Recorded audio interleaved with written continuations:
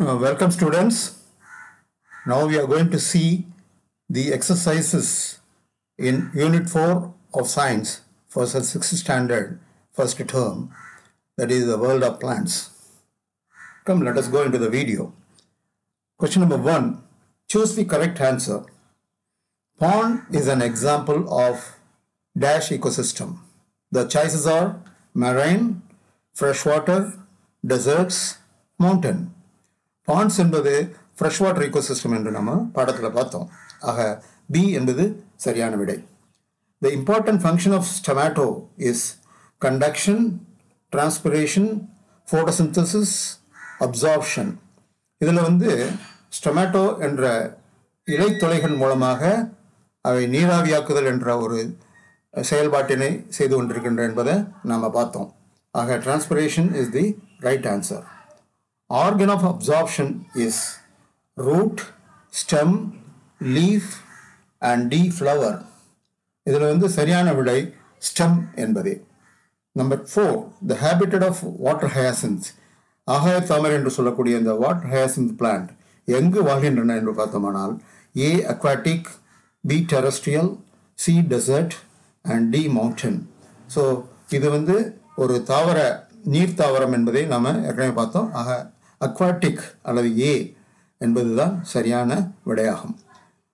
நான் coming to question number two அதில் வந்து first question earth's surface is covered by dash percentage of water ஏற்கனவே நம்ம பார்த்தோம் செவன்டி பர்சன்ட் ஆஃப் வாட்டர் என்பது சரியான விடை.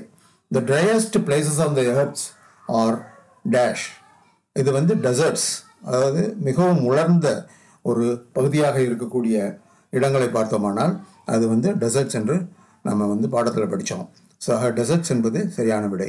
Fixation and absorption are the main functions of the stem dash so main functions of the stem ஸ்டெம்னுடைய ரெண்டு முக்கியமான பகுதி பணிகள் என்னன்னு பார்த்தோம்னா ஃபிக்சேஷன் அண்டு அப்சார்ப்ஷன் அடுத்து primary organs of photosynthesis are dash the பச்சையம் அதாவது ஃபோட்டோசிந்தசிஸ் ஒளிச்சேர்க்கையை மேற்கொள்ளக்கூடிய தாவரங்களின் பாகம் என்னன்னு பார்த்தோம்னா the leaves so leaves is the right answer tap root system is present in dicotyledons plants okay so we saw two types of roots tap root system and fibrous root system so இதில் வந்து tap root system dicotyledons பிளான்ட்ஸில் இருக்கிறத நம்ம பார்த்தோம். அதாவது இருவித இலை தாவரத்தில் தான் அவைகள் இருக்கின்றன என்பதை பார்த்தோம். நான் coming to question number three state true or false if false correct the statement number one plants can live without water so can you imagine plants will be able to survive without water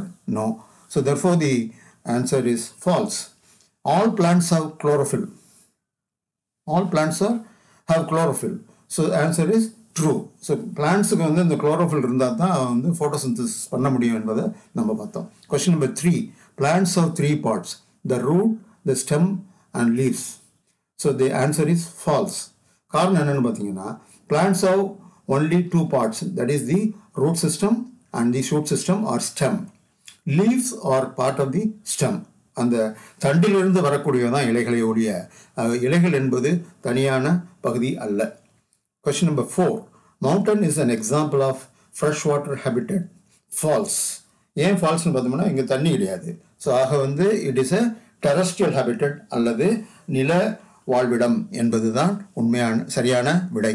அடுத்து question number five root is modified into spines false why it is false because it is always the stem or leave which is getting modified into spines in desert plants and not the roots so the, the answer is false green Green need sunlight அதாவது பசுமையான தாவரங்களுக்கு ஒளி சூரிய ஒளி என்பது அவசியம். காரணம் என்னென்னு பார்த்தீங்கன்னா இந்த சூரிய ஒளி இருந்தால் தான் green plants can photosynthesize so for the answer is true நான் question number four match the following இதில் பார்த்தீங்கன்னா லெஃப்ட் சைடில் ஃபோர் ஃபைவ் சாய்ஸஸ் கொடுத்துருக்காங்க. That is mountain desert stem photosynthesis fibrous root and right சைடில் A to E monocot branches dry place Himalayas leaves so இதை வந்து உங்களுக்கு சரியாக மேட்ச் பண்ணி நான் காட்டியிருக்கேன்.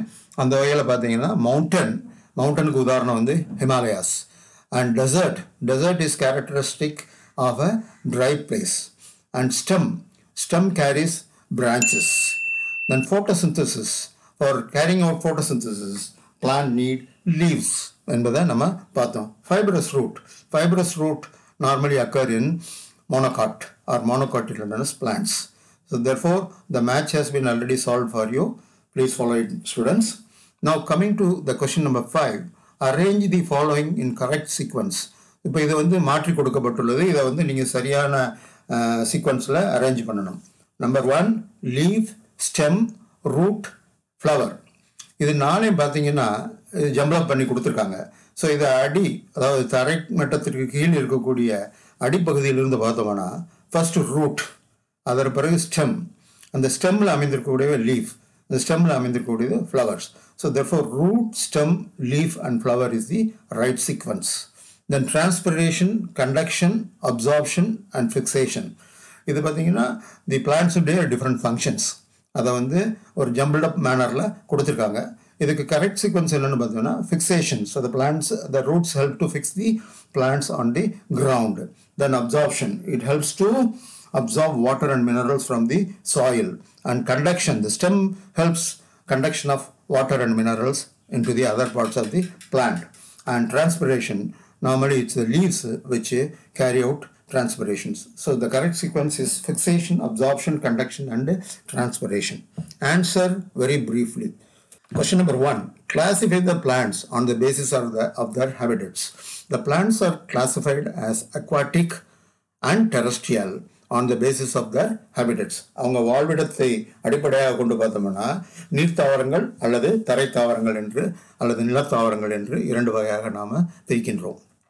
Mention few desert plants agave cactus opuntia or some of the desert plants define the term habitat இது நம்ம இந்த பாடத்திலே பார்த்தோம். Dwelling the dwelling place where plants and animals live and reproduce is called habitat Question number four. Relate the terms leaves and photosynthesis. Leaves, with the help of chlorophyll, produce carbohydrate using water and carbon dioxide through the process of photosynthesis. இது simple டேர்ம்ஸில் ஃபோட்டோசிந்தசிஸ்னா என்ன அதில் லீவ்ஸுடைய பங்கு என்ன என்பதை பற்றி சொல்லியிருக்கிறோம் then coming to question number seven answer briefly. Why do we call jasmine plant a twiner? The weak stem of jasmine plant is modified into a twine-like structure so that it can climb on any support to survive. This modification is called twiner. இதுக்கான விளக்கம் வந்து நம்ம பாடத்தில் விரிவாக பார்த்தோம் Now question number two. Compare the tap root and fibrous root systems. So நார்மலாக வந்து இந்த டேப் ரூட் சிஸ்டத்துக்கும் ஃபைப்ரஸ் ரூட் சிஸ்டத்துக்கும் இருக்கக்கூடிய வேறுபாடுகள் என்னன்றதை அட்டவணை பற்றி படுத்தி காட்டியிருக்கேன் அப்போ பார்க்கலாம் வாங்க consist of a single root called a tap root, which grows straight down into the ground. Whereas the fibrous root consists of a cluster of roots arising from the base of the stem. Tap root is usually thick. Smaller roots called lateral roots arise from the tap root, Whereas in fibrous root system, the roots are very thin and uniform in size. Tap roots are usually seen in dicots or dicotyledonous plants. உதாரணம் வந்து bean, mango, neem. Whereas fibrous root system are seen in monocotyledonous plants or monocots. Example, grass, paddy, and maize. Now question number three, distinguish between the terrestrial and aquatic habitats. So terrestrial ஹேபிட்டட்டுக்கும் aquatic ஹேபிட்டட்டுக்கும் என்ன விதமான வேறுபாடுகள் அல்லது வித்தியாசம் இருக்குன்னு பார்த்தா terrestrial habitat occupies Twenty eight percent of earth surface whereas marine habitat among the aquatic habitat alone occupies 70% of the earth's surface. Divided, the terrestrial habitat is usually divided into mountains, grasslands, deserts, and man-made habitats. அதுக்கெல்லாம் உதாரணம் நம்ம ஏற்கனவே பார்த்தோம் divided whereas aquatic habitat is divided into freshwater bodies that is rivers lakes and ponds and marine habitats which include both oceans and seas terrestrial habitat in des- uh, terrestrial habitat desert plants stem and leaves get modified to tide over water scarcity in case of aquatic plants stems and leaves have air spaces to help plants float. Uh, I think you understood the distinction between the terrestrial and aquatic plants. Come now, let us go to the next question. List out the plants present in your school garden. This is an important exercise that is being given to you. Though I will not be able to solve it myself, it is for the student and students group to go into your school garden and identify the trees, shrubs, twiners, tendrils, etc. on the land area and the aquatic plants in pools, if any, found within the school. So இதுக்கு வந்து நீங்கள் உங்கள் school கார்டனுக்கு போய் பார்க்க வேண்டியது அவசியம்.